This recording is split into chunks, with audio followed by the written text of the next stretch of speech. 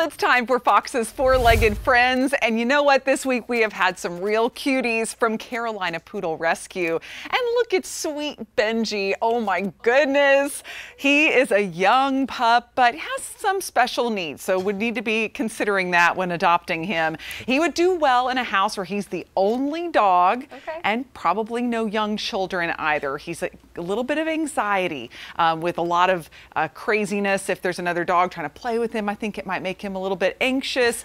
You know, it's something that we've all been through during the pandemic. Anxiety is like the new thing. Yeah, I feel like Benji just right there with us. Mm -hmm. um, but he's also an epileptic, so he's on certain medication for that as well. So this would he would need a special home. But it's such a loving dog, and they just can't say enough sweet things about him.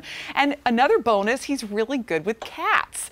So if I didn't have three kids running around, Benji would be perfect for us because you know, I'm always trying to find a dog that's going to deal well with our cat BK. But um, anyway, he's again got some special needs, but quite oh, the cutie. I love him. And you can tell he does need some help because he is wearing a Thunderdog vest. Yeah. That's what that was. Thunder shirt. I was wondering. I, my, my pit that I had, uh, G had yeah. one. Yep. And they do work, but mm -hmm. it just, I mean, it has like compression, almost like yeah. a hug. A constant. Yeah. It's like what do they use for babies? The wrap, make it feel like they're swaddle. Swaddle, yeah. Seems so like see. you might need to wear it all the time from those but photos. Some dogs just need that. And it's crazy because that simple vest, it looks like you're probably going to come with that too. It's, right. Uh, it helps. It helps tremendously. Yeah.